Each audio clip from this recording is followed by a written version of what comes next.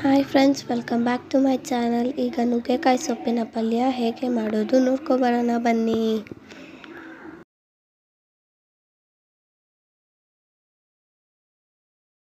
ನುಗ್ಗೆಕಾಯಿ ಸೊಪ್ಪಿನ ಪಲ್ಯ ಮಾಡುವುದಕ್ಕಾಗಿ ಬೇಕಾಗಿರುವ ಇಂಗ್ರೀಡಿಯೆಂಟ್ಸ್ ನುಗ್ಗೆಕಾಯಿ ಸೊಪ್ಪು, ಬೆಳ್ಳುಳ್ಳಿ, ಒಣಮೆಣಸಿನ್ಕಾಯಿ, ಈರುಳ್ಳಿ, ಮೊಟ್ಟೆ. ಈಗ ಬಾಣಲಿಗೆ ಗೋಲ್ಡ್ ವಿಡರ್ ಎಣ್ಣೆ ಹಾಕ್ಕೊಳ್ಳೋಣ. ನಿಮ್ಮ ಮನೇಲಿ ಯಾವ್ದು ಯೂಸ್ ಮಾಡ್ತೀರೋ ಅದು ಹಾಕ್ಕೊಳ್ಳಿ. ಎಣ್ಣೆ ಕಾದಿದ್ದಾದ್ಮೇಲೆ ಕಟ್ ಮಾಡಿ ಇಟ್ಕೊಂಡಿರುವ ಈರುಳ್ಳಿಯನ್ನು ಹಾಕಿ. ಈಗ ಈರುಳ್ಳಿನ ಲೋ ಫ್ಲೇಮಲ್ಲಿ ಫ್ರೈ ಮಾಡ್ಕೊಳ್ಳೋಣ.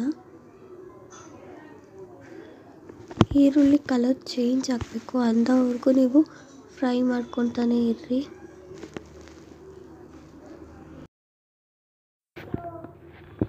ಈಗ ಬೆಳ್ಳುಳ್ಳಿ ಮತ್ತು ಒಣಮೆಣಸಿನ್ಕಾಯಿನ ಹಾಕ್ಕೊಂಡು ಫ್ರೈ ಮಾಡ್ಕೊಳ್ಳೋಣ. ಲೋ ಫ್ಲೇಮಲ್ಲೇ ಇಟ್ಕೊಂಡು ಫ್ರೈ ಮಾಡಿ. ಬೆಳ್ಳುಳ್ಳಿ ಹಾಕುವುದರಿಂದ ಜೀರ್ಣ ಚೆನ್ನಾಗಾಗುತ್ತೆ.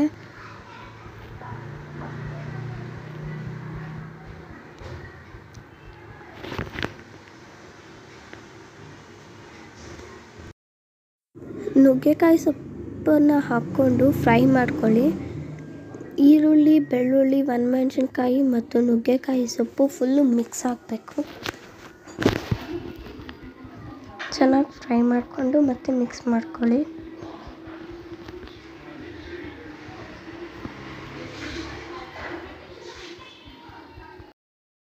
ಈಗ ರುಚಿಗೆ ತಕ್ಕಷ್ಟು ಉಪ್ಪನ್ನು ಹಾಕ್ಕೊಳ್ಳಿ.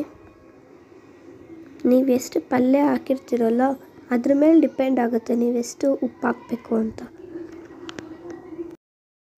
ನುಗ್ಗೆಕಾಯಿ ಸೊಪ್ಪಿನ ಪಲ್ಯವನ್ನು ತಿನ್ನುವುದರಿಂದ ಹೆಲ್ತ್ಗೆ ತುಂಬ ಚೆನ್ನಾಗಿರುತ್ತೆ ಮತ್ತು ತುಂಬ ಒಳ್ಳೆಯದು ಕೂಡ. ಮತ್ತು ಇದರಲ್ಲಿ ಪ್ರೋಟೀನ್ಸ್, ವಿಟಮಿನ್ಸ್ ಮತ್ತು ಐರನ್ ಹೆಚ್ಚ, ಹೆಚ್ಚಾಗಿ ಇರುತ್ತದೆ.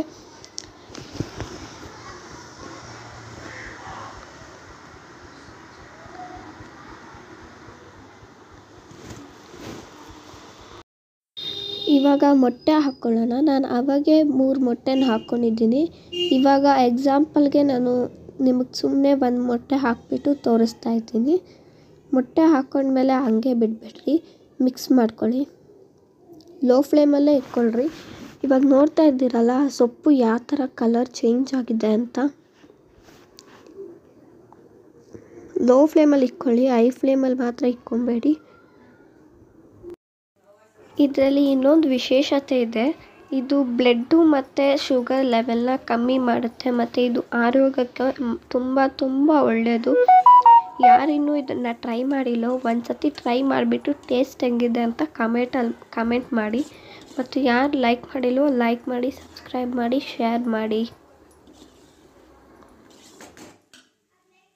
ಟೇಸ್ಟಿ ನುಗ್ಗೆಕಾಯಿ ಪಲ್ಯ ರೆಡಿ ಆಗಿದೆ. Thanks for watching bye bye friends